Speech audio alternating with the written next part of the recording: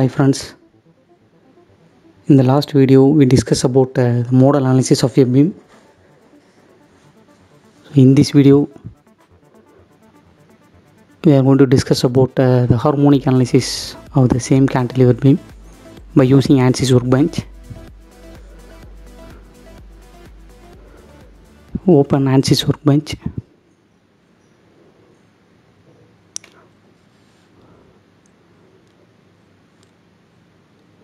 So we have already performed the modal analysis. So these are the different mode shape.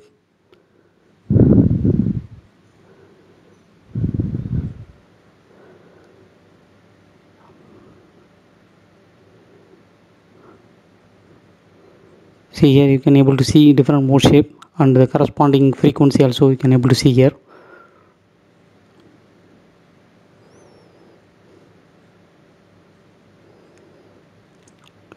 so here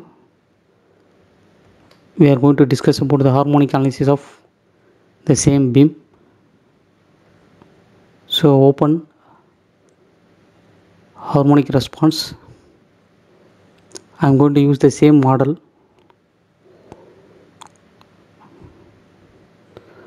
So first update modal analysis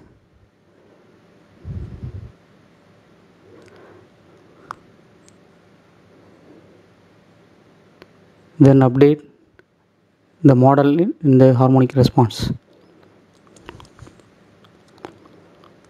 So double click on the model or you can edit.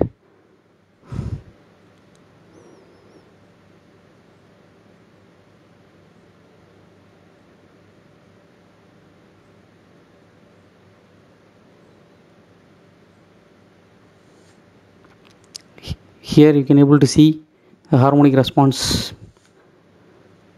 there is some question mark. So it means we need to define some settings. So we need to define the range of frequency. So our first natural frequency is 814.15 so for that I am going to get the response. So I am going to select the maximum range as 1000 hertz. Solution interval it depends on you. So I'm going to define 100 intervals to get smooth plot since you can get the question mark so we need to define the boundary conditions.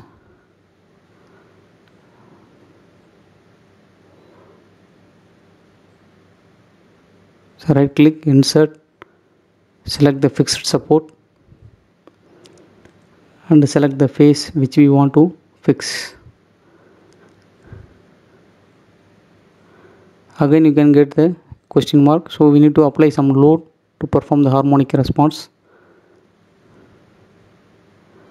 So I'm going to apply a load on edge. So apply. So here we can define the magnitude. So by using components I'm going to define the force. So along y direction I'm going to give the load so based on your requirement you can define. So by assuming 500 newton I'm going to apply. So now you can able to see there. So now solve.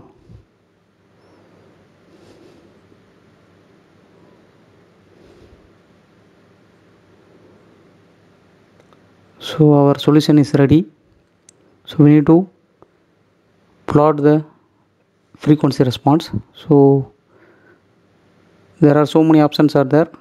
So i'm going to define the deformation. So select the deformation. So you may get here the geometric selection. So i'm going to select the beam. Apply. So along which direction you want to get the response so y direction so select y direction y axis. Then right click on the solution evaluate all results. So this is the corresponding frequency response. So since I defined uh, 1000 hertz as maximum range so therefore we know that our first natural frequency is 814.15 so in that uh, you can able to see one resonance. So the corresponding amplitude is there. If you want to zoom it you can zoom it. You can zoom and uh, see the value of frequency.